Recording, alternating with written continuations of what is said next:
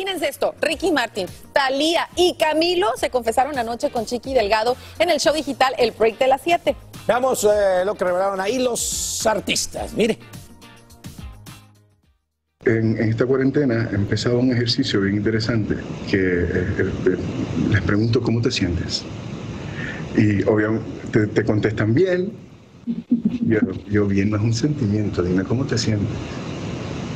Y empezamos a señalar eh, eh, o, o a ponerle significado a la tristeza, la incertidumbre, me siento cansado, me siento feliz.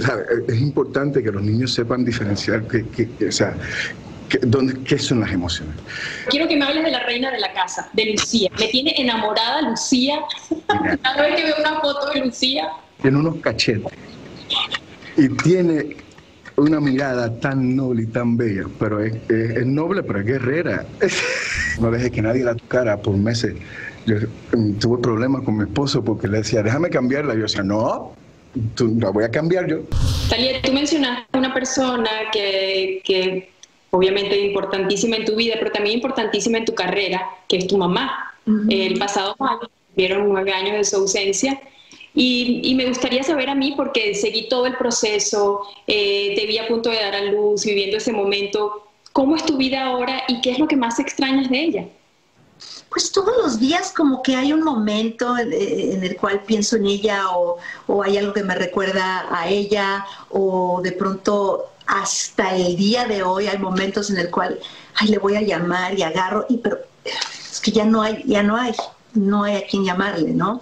Entonces, este sí hay momentos donde, eh, no sé, hoy, hoy fue el último día de, de, de escuela, ya sabes, online de mis hijos mientras, mientras está pasando todo esto. Todos están tratando de, de hacer el, el- la educación en casa. Entonces, hoy que terminaron, quería hablar con mi mamá y decirle, ¡ay, terminaron! ¡Se graduaron!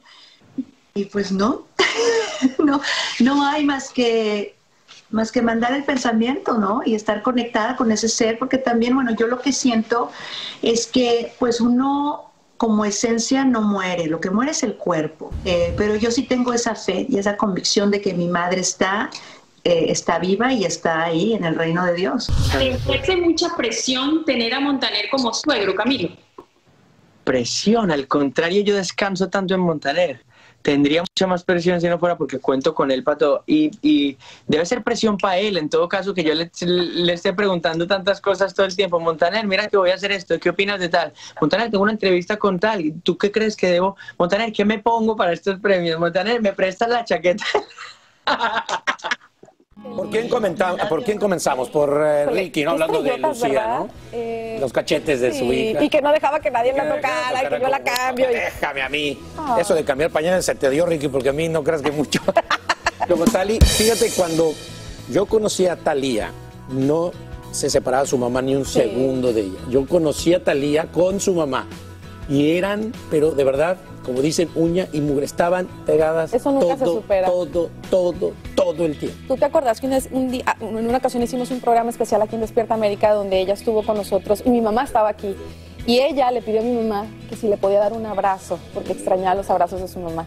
Eso a mí no se me olvida. Eh, y eh, yo creo que eso no se supera y de verdad que la queremos mucho y, y estamos con ella. Y bueno, Camilo, Y Camilo hermoso. Cincote, ¿Cómo te distingue, compadre? me encanta. Me ¿eh? encanta ese niño, es lo más Eh, tierno. Se ve muy noble. Felicidades a nuestra chica.